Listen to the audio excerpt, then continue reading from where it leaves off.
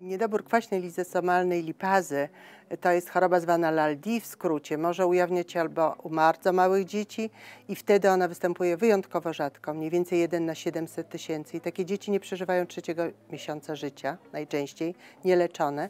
Natomiast w postaci, która się ujawnia później, ona się nazywa chorobą spichrzania estrów cholesterolu, e, pacjenci e, e, zaczynają chorować w wieku kilku lat i zwykle ta choroba powoli postępuje, aczkolwiek ewidentnie jest to progresja różnych objawów klinicznych. Pacjentów aktualnie w Polsce wydaje się, rejestru jeszcze nie mamy, że jest około 20. Chorzy z niedoborem kwaśnej lipazy lizosomalnej muszą być zdiagnozowani albo poprzez badania enzymatyczne, czyli stwierdzenie rzeczywiście deficytu enzymu i takie badanie można wykonać albo we krwi, albo w fibroblastach skóry, albo nawet w suchej kropli krwi tak zwanej, czyli y, krew pobrana na bibułę przesiewową i wówczas z tej bibuły y, oznaczony enzym.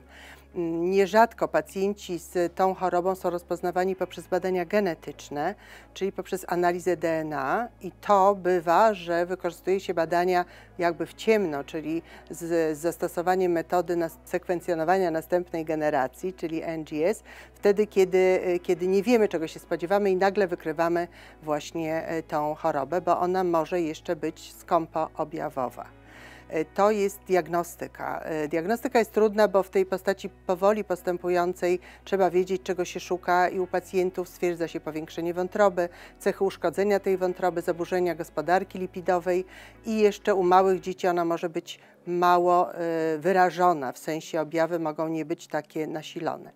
Natomiast do tej pory w związku z takimi objawami właśnie dysfunkcja wątroby, e, hipercholesterolemia, zwiększone stężenie triglicerydów we krwi, e, tak jak w populacji dorosłych pacjenci, bo pacjenci mogą być dziećmi i dorosłymi, ale również u dzieci były próby i są próby leczenia hipolipemizującego, czyli obniżania stężenia cholesterolu czy triglicerydów, ale to są leki raz, które mogą dać objawy niepożądane, zwłaszcza u dzieci stosowane, a dwa, że są w tej grupie chorych nie do końca skuteczne. W tej ciężkiej postaci ujawniającej się u małych niemowląt nawet były próby przeszczepienia komórek krwiotwórczych e, czy przeszczepu wątroby, ale one nie przyniosły żadnego efektu. A w tej chwili mamy dostępny, chociaż można powiedzieć w Polsce niedostępny, bo nierefundowany jeszcze, ale lek, który jest enzymem. E, I jest to e, tak zwana enzymatyczna terapia substytucyjna. Jest enzym, który nazywa się sebelipaza alfa, który zastępuje ten enzym w ustroju pacjenta, którego nie ma e, i rzeczywiście możemy się spodziewać po badaniach klinicznych dotychczasowych wynikach, że on przynosi ewidentną poprawę kliniczną i e, unikanie powikłań, e, zwłaszcza tych nieodwracalnych u pacjentów.